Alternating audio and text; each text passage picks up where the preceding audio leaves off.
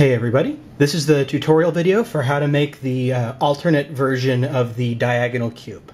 So to build the shape you're going to start out in one of two ways. Either with um, two sets of stacked rings of six or with one set of stacked rings of six and one set of stacked rings of nine. Um, and the difference between these two ways of starting out is that if you start out with the two rings of six, you'll get a cube uh, like this one, where the corners are uh, slightly different. So these end in three magnets, these end in one magnet, and then on the other side, one magnet and three magnets. So that's what happens if you do it this way, which is good for some things. But if you want all the corners to be identical, then start off with uh, the six and uh, the nine stacked rings. So this is the way I'm going to show you how to do it. It's exactly the same except you substitute these in otherwise. So the way that you start doing this is you uh, take your stacked rings of nine and you uh, cut them into uh, four stacks.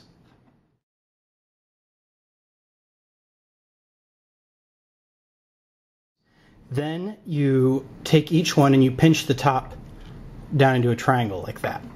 So, just like that. Do that for all four of them. Then you're going to want to take four single magnets and uh, fill in the uh, holes in these triangles really quick, just like that.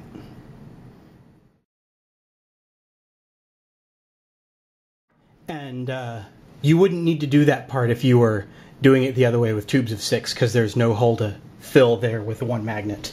You wouldn't need to do that part. Anyways, you take three of these and you attach two of them together like that. Then you take a third one and do like that. And you do the same thing with the other way. Now what you want to do is you want to take a series of single magnets and put them down into here so that they kind of fill up this hollow tetrahedron and make it solid. And they really like to stick to the sides and don't go down the way they should. So if you just take like a pencil or something, you can push that magnet down in there, make it go where you want it to go, like that. And so then you take more of these single magnets and go ahead and fill this whole thing up. And for doing it this way, you need um, 10, I think, yeah, 10. Whereas if you were doing it with the uh, stacked rings of just six, you'd only need four because there'd be one layer less. So go ahead and fill this up.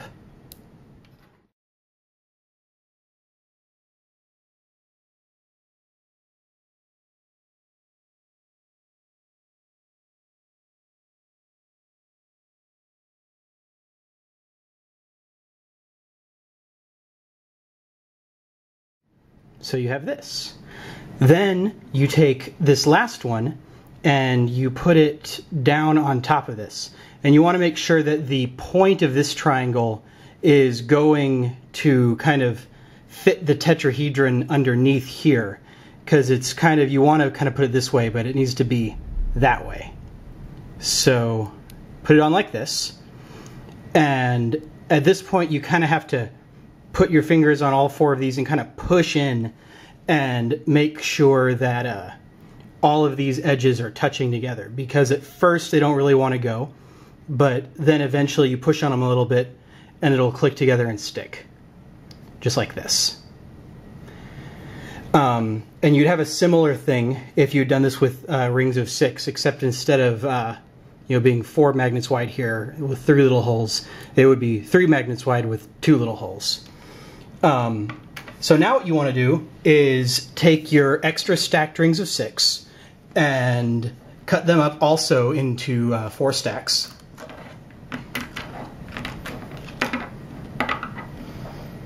And uh, these need to uh, be, when they go down, they should be the opposite polarity of these. So you take the top of them and pinch these into triangles as well.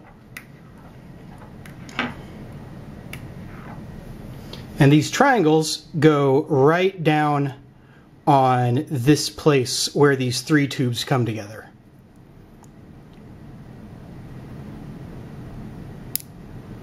Just like that. And it's actually a very strong connection that really clicks together quite hard. So you do that with all four of them.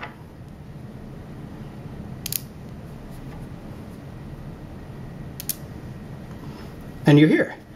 Now you have these long gaps in between here where there's three little divots. So what you want to do is take single magnets and fill those in. And each one will take three. Just like that. And go ahead and do that to all of the little uh, holes.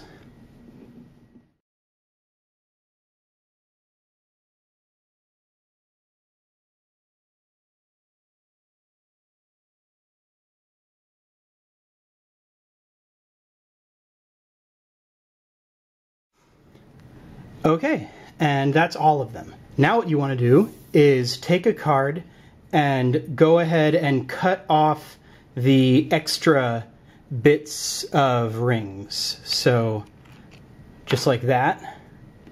And then with these, just like that. And there will be a little bit of a gap there. So go ahead and cut all those off. And this is the shape that you're left over with.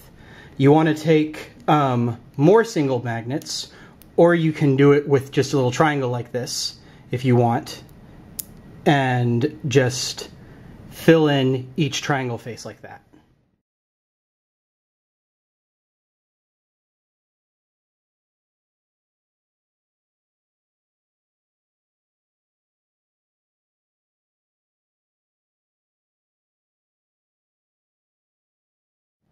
And so you end up with this.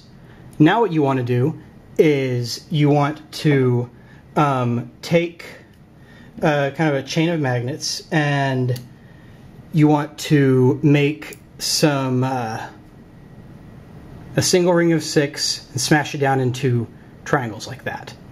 And there are these four like large flat triangles around here, and one of these should go on each of those.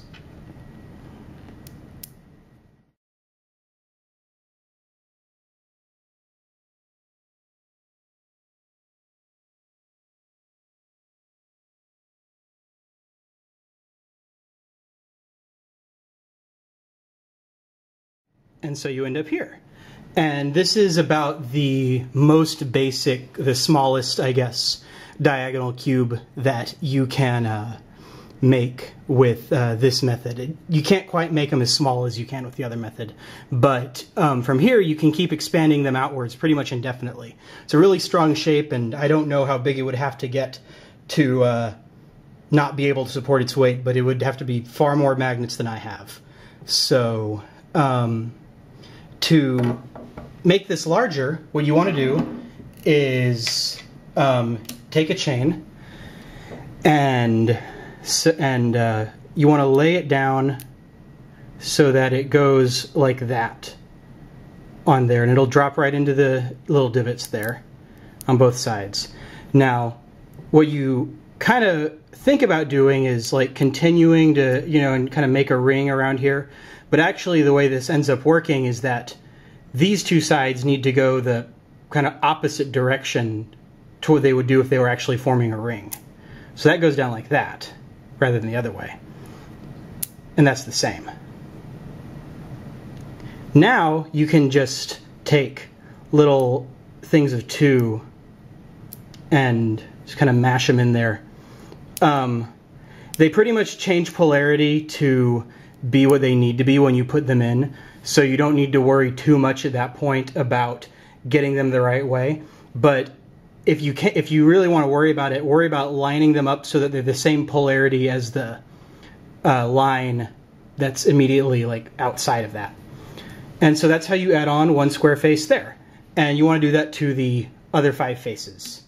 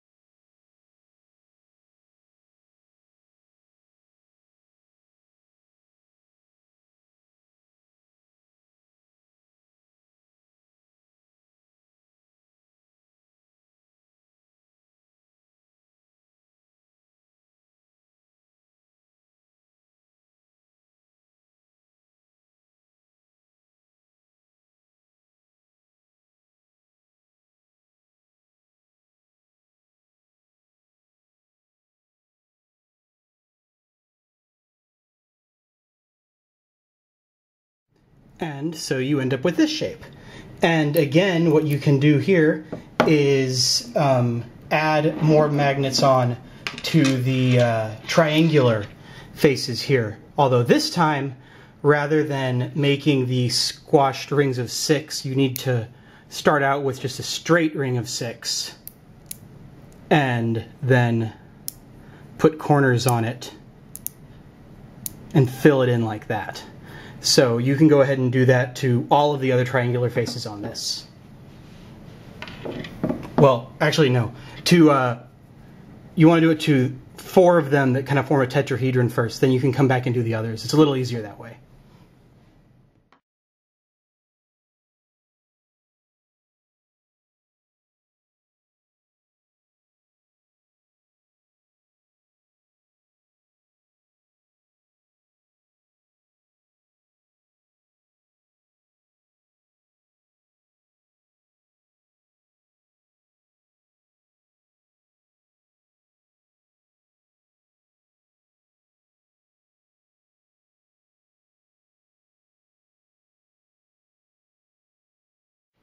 And uh, once you've done those four, then you can do these other four. It's a little bit easier that way. And also, it's uh, good to note that while these all have um, polarity about these corners, the uh, ones that are currently the smaller ones are all the same polarity as each, polarity as each other, whereas these ones that are currently larger are the opposite polarity. They other way around, counterclockwise or clockwise or whatever. Um, so um, it is a little bit, you know, I would prefer it wasn't that way, but that's how it is. So um, go ahead and add more magnets onto here.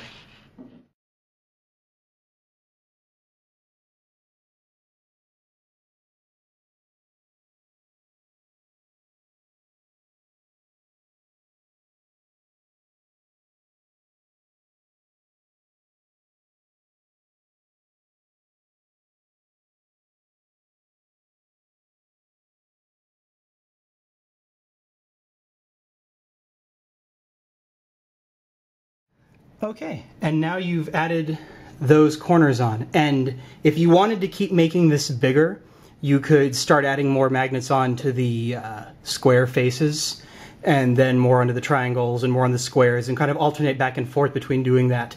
And this thing will just get larger and larger. But uh, that's not any different than what I've already been doing. So I'm going to go ahead and finish this cube off and stop the video. Um, so the last thing you need to do to finish it off is to put the corners on, which is, you know, just in this case, it's three magnets. Um, if we had stopped one level earlier or gone one level further, th these would have all ended with one magnet. It goes, as you add another layer on uh, concentrically, the uh, type of corner changes every time. So I kind of like the three magnet corners better. They're more stable. They don't move around as much these one magnet corners tend to be really kind of finicky and I prefer these ones, they don't move as much. So go ahead and take little triangles and finish off all the corners.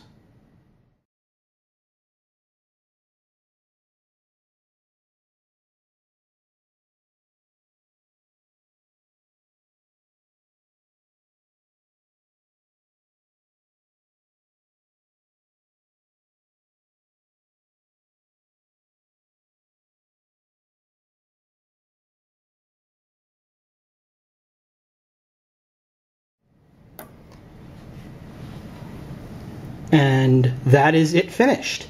The uh, alternate way to build the diagonal cube. And like I said before, um, this has, instead of being axially polarized with the magnets going around the uh, axis there, they are uh, polarized around each corner. So that is uh, this shape.